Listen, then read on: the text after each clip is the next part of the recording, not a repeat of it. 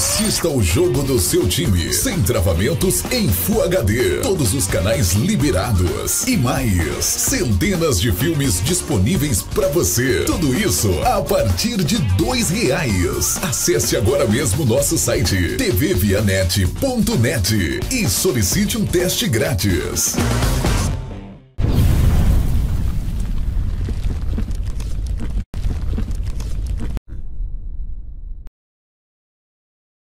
Falar agora do Vitória porque o seu Neilton tá devendo alguma coisa, né? Exatamente, né? Tá devendo bola na rede, está sendo cobrado por isso.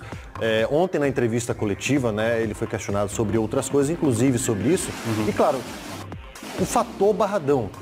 O torcedor do Vitória quer ir para o Barradão e quer ver o time vencer. Esse ano foram 12 vitórias, 5 empates e 4 derrotas. Né? Perdeu até pouco, mas as, as derrotas foram muito marcantes, principalmente a do Bavi.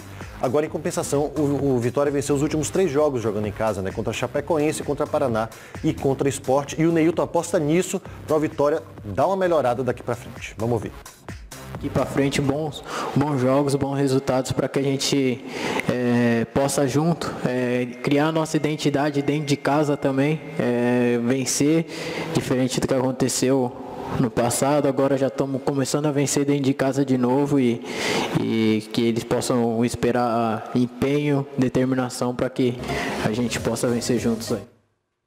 Só tem um grande problema aí, Ricardo é? Ismael. Os adversários, né? O, o Vitória enfrenta aí para fechar é, esse primeiro turno em casa o Cruzeiro no domingo ah. e dentro de 15 dias, daqui a duas semanas, né, enfrenta o Palmeiras novamente em casa, já fechando esse primeiro turno. E aí são dois times que estão brigando pela parte de cima da tabela, né?